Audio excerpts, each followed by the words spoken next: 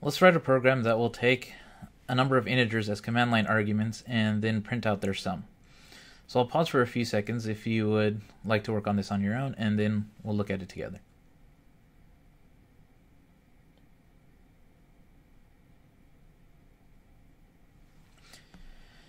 Okay, so when we actually invoke sum from the command line, we know that the program name is actually going to be our first command line argument.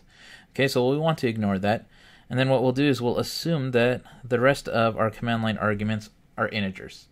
Okay, so we actually won't be doing any error checking in this implementation. Now, each of those are each of those command line arguments are C-style strings, and we have the atoi library function that will take a C-style string and convert it to an integer. And so what we need to do is we need to just iterate over the arguments starting at the argument in index 1 so that we ignore the program name and then just call atoi and add it to a running sum. Okay, so we'll start off with a sum that's 0 and then we'll iterate over our argv array.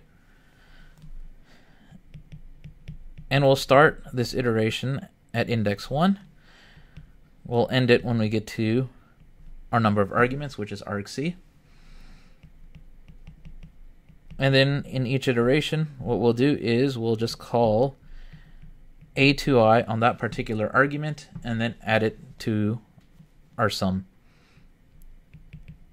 So we'll call atoi on the ith command line argument. Okay, now once we're done with this loop, then all we have to do is just print out the result. Okay, so we'll use cout to do that. So we'll cout sum is and then our sum.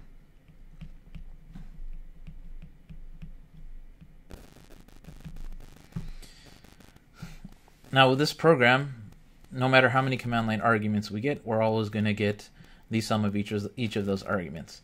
Okay, so with the example down below, we have argc is actually equal to 6 because there's six command line arguments, including the name of the program we start our iteration at the first argument, we convert that to the integer 1, and we continue to do that until we get through all the command line arguments, and so the result is a sum of 15.